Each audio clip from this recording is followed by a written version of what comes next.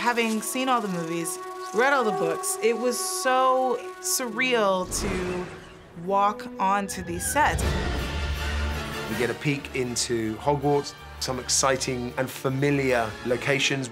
There's so many Easter eggs to find. It's this real magical, cinematic experience. It takes my breath away. Every single detail, every bit of brickwork. It's just spectacular.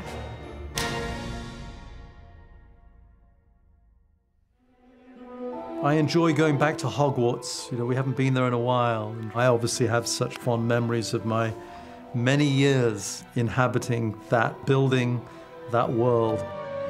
I've had the privilege of working with Stuart Craig, the greatest designer for 20 years. The breadth of his work is remarkable, from Elephant Man to Dangerous Liaison to Harry Potter and now Fantastic Beasts. He thinks big and expressively. He's an extraordinary, gifted world builder. And it's been a privilege to make eight films with him, and he's made them all look fabulous. What was wonderful on this film and also I think made Stuart smile was calling upon those sets that we built and he designed many years ago. Hogwarts is a place that Dumbledore feels most at home. It's his sanctuary from the world. For a few of the characters, it's the first time they've ever been to Hogwarts, and for a few others, it's a return to their old school. You believe this place? They got pint-sized little witches and wizards running around here. You don't say. Being able to shoot in the Great Hall is very special, and there were loads of kids there, and it felt very Harry Pottery.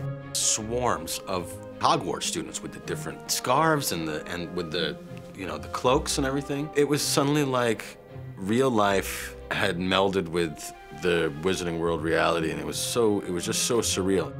The touchstone for seeing something like the Great Hall is how we saw it in Harry Potter. We're using scans we did actually for the last film of the Great Hall that's in the Harry Potter tour here in London, and we're using that to digitally recreate the whole room. What is this place? The room we require. We've done the room requirements. We've built it as what they call a proxy set. So its tones are all correct, but visual effects are actually adding in post the texture to it. So they're putting on the stone texture and the ribs and things like that. The only thing that's real in the set really is actually the floor that the actors stand on. And the idea really there is it's not CG for CG's sake. We're not in these bases for very long, so it doesn't really make sense to build a massive set physically for one scene. By the way, we'll be dining with my brother. Should you need anything before then, Minerva is here. Dumbledore has a brother?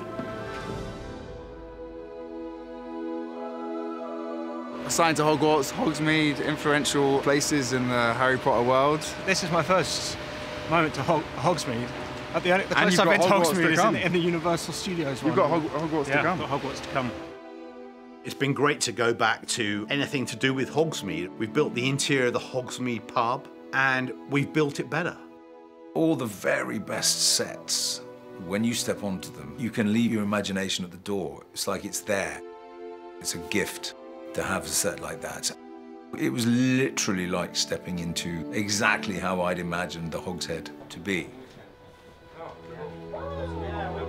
The first time I walked into the Hog's Head, I was like, holy crap, we are at the Hog's Head.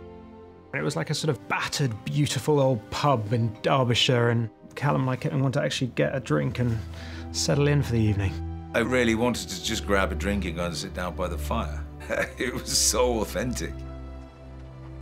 Always feel a great mantle of responsibility to the fans. So obviously I do take a lot of care to preserve the spirit of what's been done before, but we're much earlier, so there's the artistic license there. We're thinking, oh, how would a butterbeer or a wanted poster be 50 years before, but still be true to that language so that the audience recognise certain elements. It's astonishing to see it in the 30s. And luckily for me, I get to go there, which is fabulous. I'm gonna need someone to cover my morning classes.